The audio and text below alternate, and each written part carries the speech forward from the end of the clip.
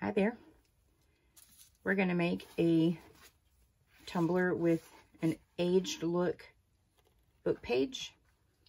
And we're going to use coffee to do it. So I've got laser printed paper here. There is a high likelihood, I have not tested it, but I would imagine just based on past experience with water slides, inkjet would likely bleed with this. Where laser, you don't have to seal a water slide, so it's not going to bleed on here. So what we're going for is the old aged book page, that versus that. I've got an old book here to kind of use as an example for color. You can kind of see the difference there. So there's a couple of different ways to make it darker. You can do it multiple times, and I'll do a round of that in just a bit. And there's a couple of ways, or there's at least one way to make darker spots. Um, and I will show you that as I'm doing it, but I can't talk during that part because it's um, it's kind of hard. I'm going to have to reduce the volume to use my heat gun. But this is what we're using here and a paper towel. So when I get ready to make dark spots, where it's wet, I'm just going to get my heat gun a lot closer so it kind of scorches that paper.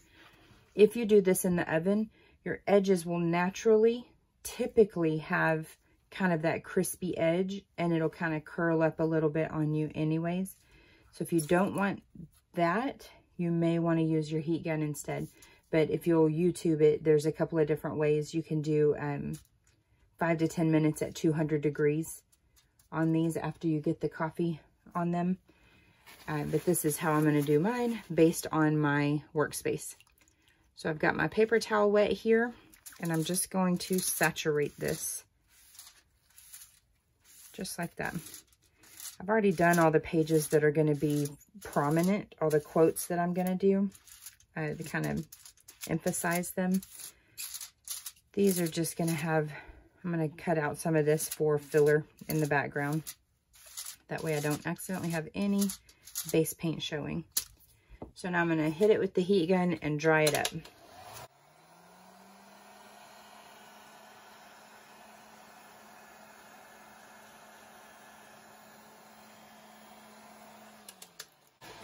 Really quickly, I'll show you what I mean by kind of scorching it a little bit.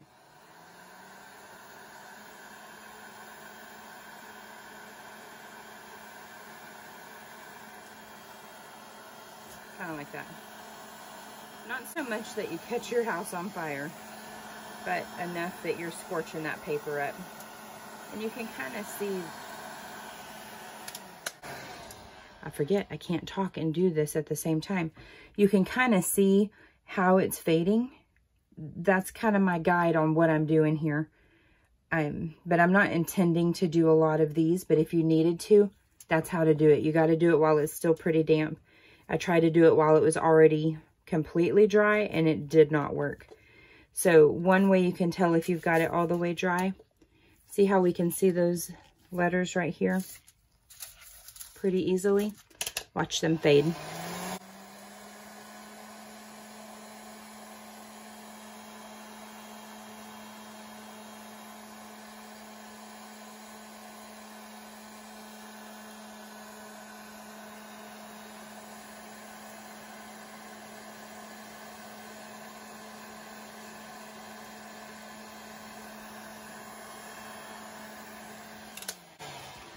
Just like that. Make sure you put your heat gun down on a surface that won't melt. Um, ask me how I know. You can kind of see how crinkly that ended up. That's perfect. If you need your pages to be aged and distressed but flatter, put something heavy on them overnight, which is what I'm going to do. I've got my stack of papers right here with all the quotes I want to use. Iconic right there. I know it's not the one everybody's familiar with because the movie version's a little different. But these are just a little too wrinkly for what I want to put on my cut to make them lay down flatter. So when I'm done here, I'm going to make sure they're all completely dry. I'll take my gloves off and feel them to make sure there's no dampness. And then I'll put something heavy on them to flatten them out, but it'll still have that kind of crinkly effect and um, kind of the splotchy aging. So to get it extra dark, you just go over it again. I'm just going to do the bottom half just so you can see it here. There's a couple of different things you can use to stain them. Tea will get you a little bit lighter vibe, kind of like the uh, book that I have. Coffee a little darker. And there's another one I saw in one video. I can't remember. It was soy something. I'm assuming that it was soy sauce, but it probably wasn't. Um, and it was even darker. It was really nice. Um, it was one with maps. That was a good one. I'll try and remember to do the link in the video uh, description. But I'll show you this in just a second.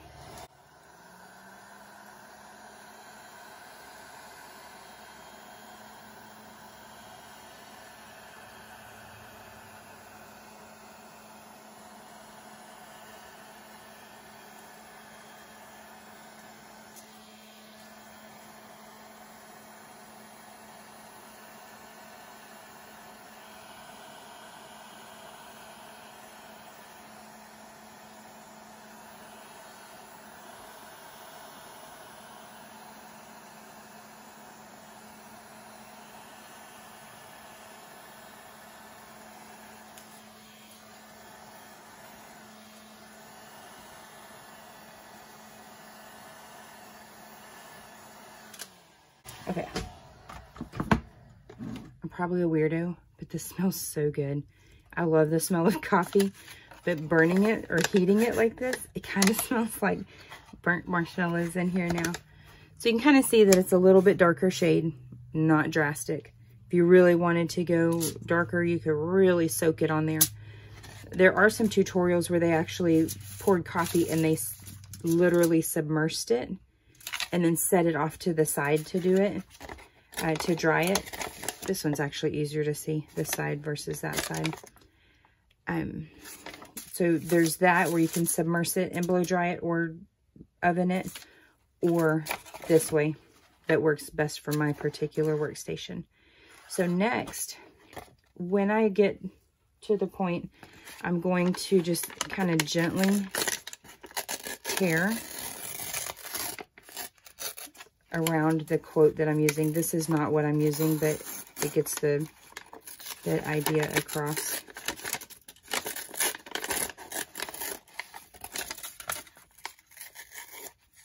Oops, turn it.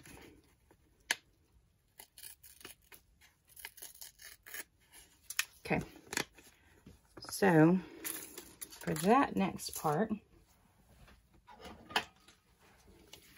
going to burn the edges. You could also just stain them a little bit more. Make sure not to breathe in any of the ash. It's not good for you.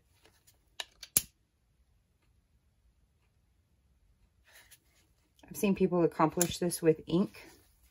Like if you're a stamper, you probably know how to do this the other way.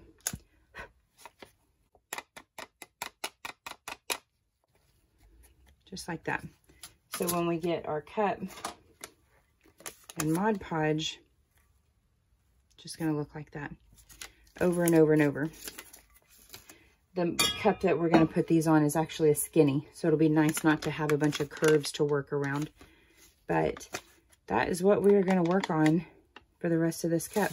So I'm to get those pieces all done, and then I'll um, be back to show you the Mod Podge and the sealing.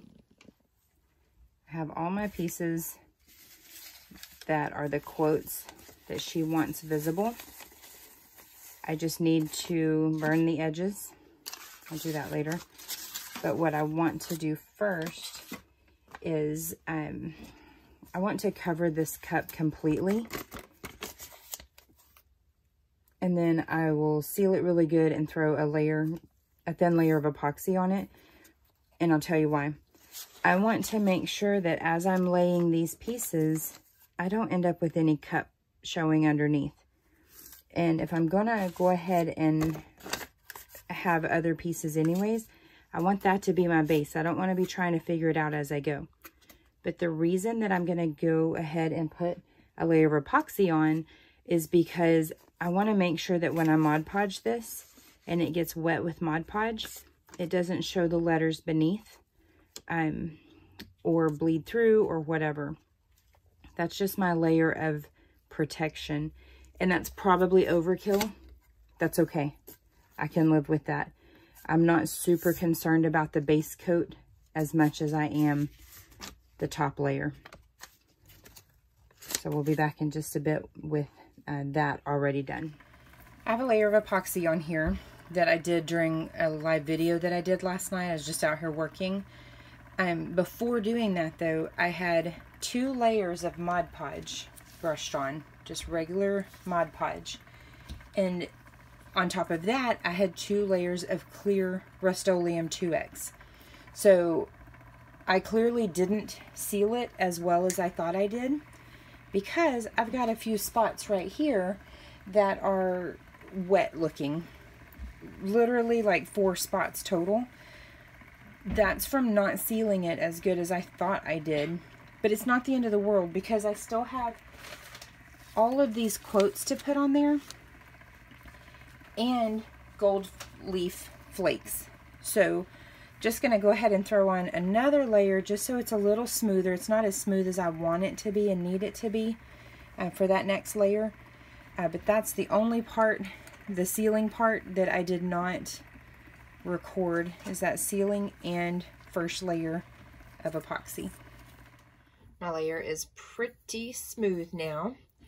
So next step is now to do the ones that we're actually wanting to be the main focus. So I'm going to burn my edges here, just like I showed you earlier. And then we're going to lay them down one by one. So just a quick recap, just kind of over it like that, just to kind of get rid of that white edge right there. But not a lot, lot. Unless that's the look you're going for. Just enough to kind of really, really age it up.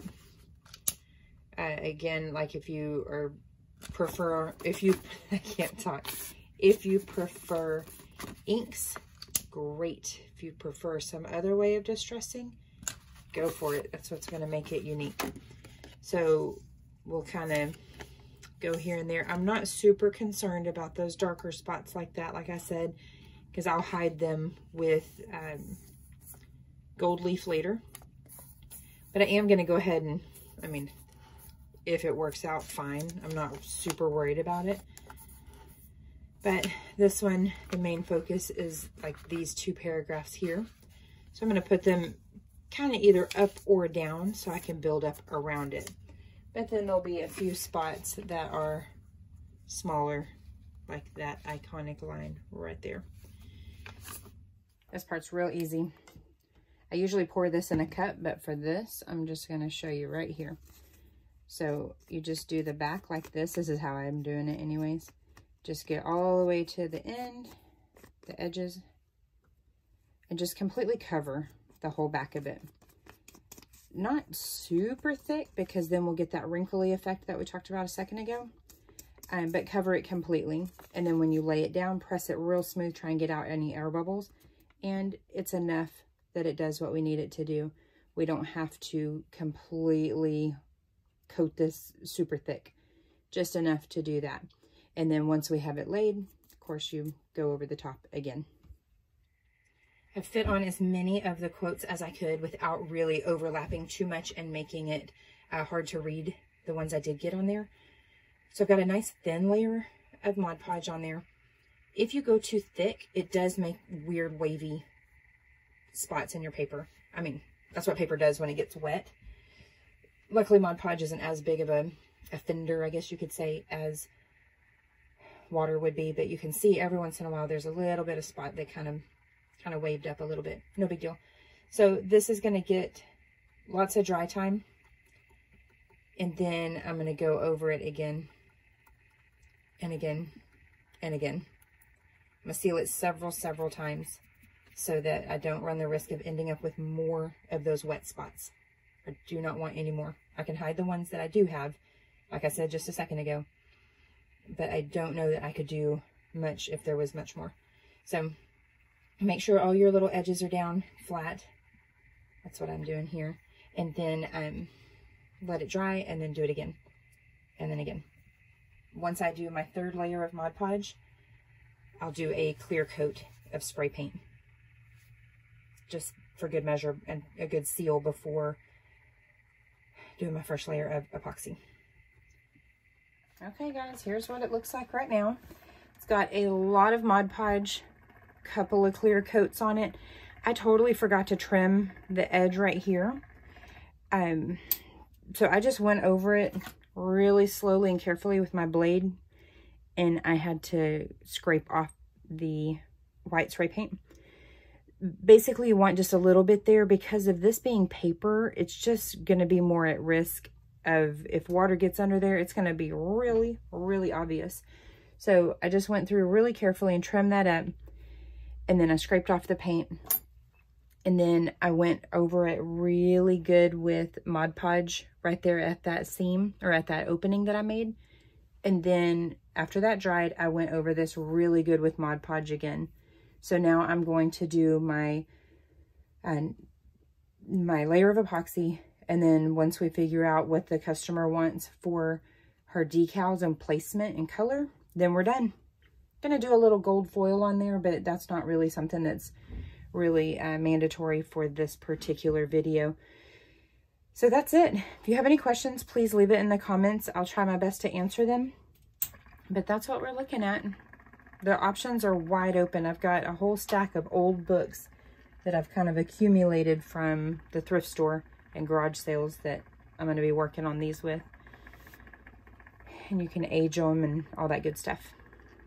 Yeah. So if you like my channels, please consider subscribing. If you like the video, please give it a thumbs up.